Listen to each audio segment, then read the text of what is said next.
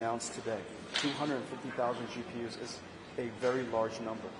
Um, it will be it will be uh, used for everything from uh, training and creating Korea's sovereign AI, building Korea's AI startup ecosystem, uh, supporting science and research here in Korea. Uh, of course, uh, the government and and then all the industries, everything from healthcare to automobiles to uh, digital twins of factories and building chips and uh, building ships and you know every single industry will be impacted. And so uh, that, that was that was the second. And um, uh, and of course you saw the big partnerships that I announced with Samsung and SK and Hyundai and Naver and, and not to mention Korean government is one of the first governments literally the first government to invest in 50,000 GPUs for the Korean government. And so that's a very big, very big initiative. I'm really, really uh, honored to be part of, of uh, building AI for Korea. So now that you're you're pitting Samsung against SK Hynix when it comes to high bandwidth memory chips, would that bring down prices, better margin story for NVIDIA? We're going to be growing so fast. It's really rare that a company as large as NVIDIA has grown, had, grows at such incredible rates and scale. And so the opportunity for all of us is really quite significant. It's going to take the partnership of all of the all of the makers of HBM4 really to support our growth.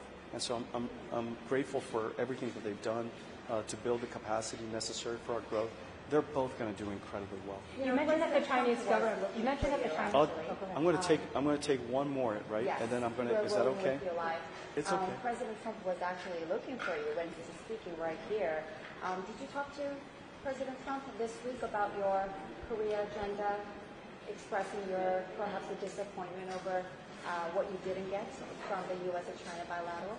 Um, it turned. the- I missed. I tried to get to Korea as fast as I could, um, but I happened to be in Washington D.C. doing a major event, um, uh, our our largest conference in Washington D.C. And so, uh, as far as fast as I could get back to get to Korea to support him, uh, unfortunately he he was already finished. And